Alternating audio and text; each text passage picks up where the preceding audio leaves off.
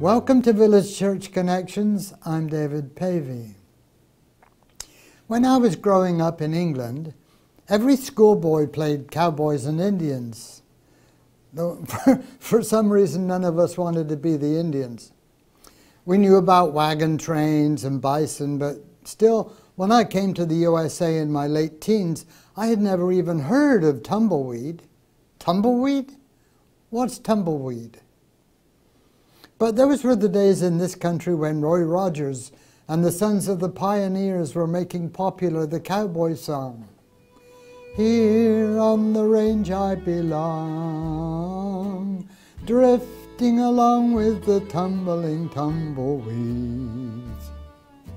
Soon thereafter, I had a chance to drive Route 66 from Chicago to Phoenix, and I saw tumbleweed galore those twisted balls of dead foliage rolling across the open range and deserts. But that was 60 years ago, and tumbleweeds have never stopped spreading. In fact, nearly every state in the U.S.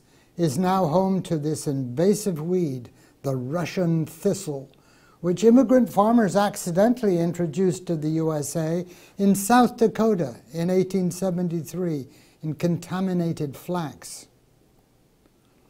Once mature and dry, the thorny plant detaches from its root or stem and rolls with the wind, dispersing about a quarter of a million seeds per plant in the process. Today, tumbleweeds are not only a nuisance for farmers and a fire hazard, but they sometimes block driveways, barricade people inside their homes, or choke roads. Recently, for example, in southeastern Washington state, Drivers stopped their cars when 40 mile per hour winds sent tumbleweeds racing across State Route 240. People had to stop driving when they couldn't see anymore. But the tumbleweeds kept coming, and they quickly blanketed the road and piled up between the cars.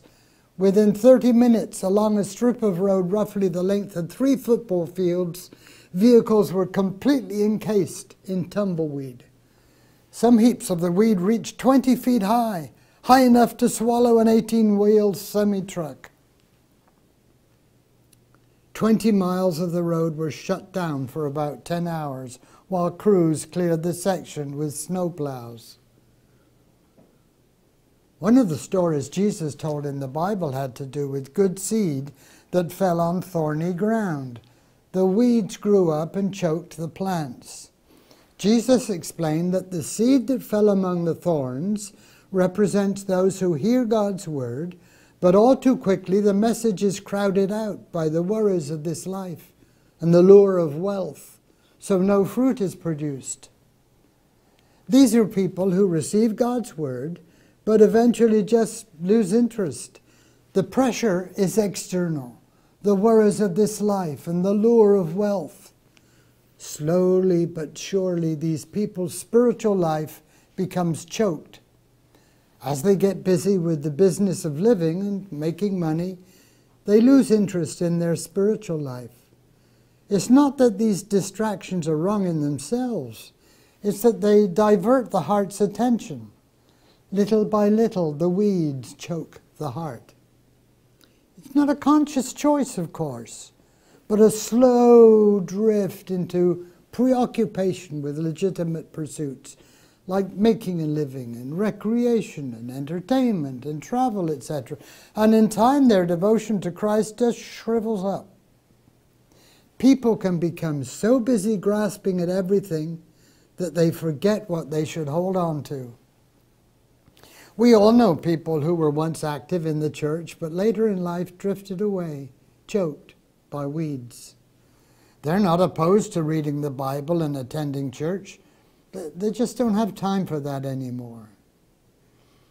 Jesus told us to seek first the kingdom of God and his righteousness, and he would take care of all our other needs like food and clothing.